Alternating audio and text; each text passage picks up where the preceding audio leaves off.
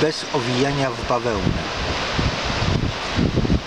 Istnieje cholernie trudny temat dla faceta, ponieważ facet jest w stanie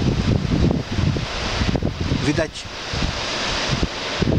kilkadziesiąt tysięcy złotych albo dolarów, wszystko jedno, żeby kupić sobie samochód. Natomiast nie wyobraża sobie, jak te kobiety potrafią wydać dwa razy więcej na torebkę. No bo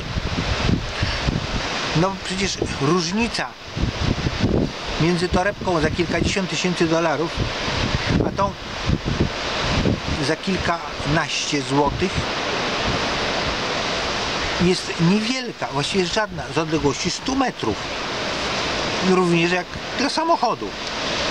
Jak jedziesz sobie tym swoim samochodem, to za 100 metrów wydaje się, że no, samochód. Z odległości metra to już widać, że to tylko pojazd mechaniczny. I to, co mam do przekazania. Drodzy panowie, istnieje taki, czasami się zdarza taki moment w życiu, kiedy płacisz sprzedawcy za Bottega Veneta, za Prado, za Louisa Vuittona, za, za no daj Boże, że cię stać za Hermès. I w tym momencie to, co czujesz, jest bezcenne, ponieważ pieniądze tylko wtedy mają wartość, kiedy się je wydaje.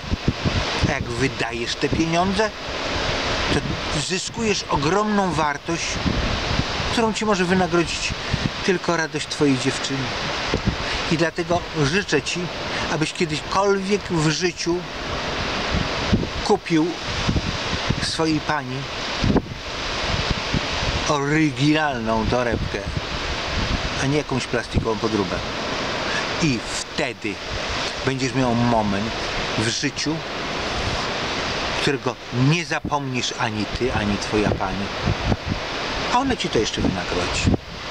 Życzę ci, abyś chociaż raz w życiu to przeżył.